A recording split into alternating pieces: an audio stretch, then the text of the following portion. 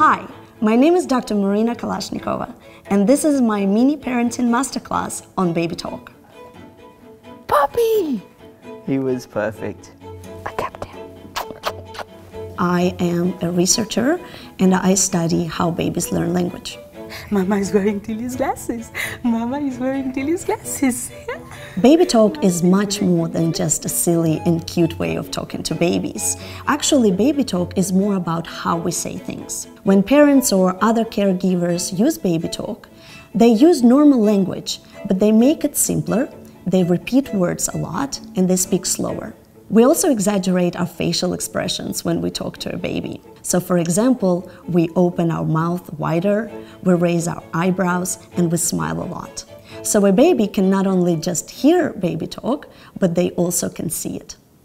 Sometimes he gets really talkative and he won't. Parents should immerse their babies in speech.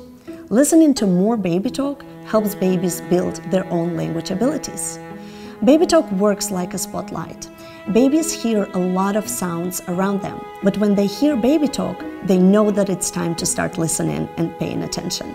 And this happens for two reasons. First, baby talk is easier to listen to. When babies are very young, they do not understand the meanings of words, but they hear the exaggerated pitch in baby talk and they learn from it. Second, babies like listening to baby talk. They like the exaggerated melodic patterns and the positive emotions in baby talk, and this helps them to pay more attention to it compared to speech that we use with adults. Papa. Puppy. When we see a baby, most of us instinctively use baby talk, but it still doesn't come naturally to everyone. Parents should start practicing baby talk from early on so they can learn what type of baby talk to use. The best times to practice baby talk is when you engage in daily routines with your baby. For example, when you're feeding, bathing, or playing with your baby.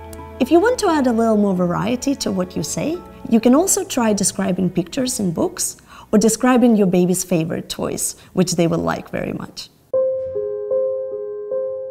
Baby Talk helps babies establish a special bond and connection with their parents, which makes them feel loved, safe, and comfortable.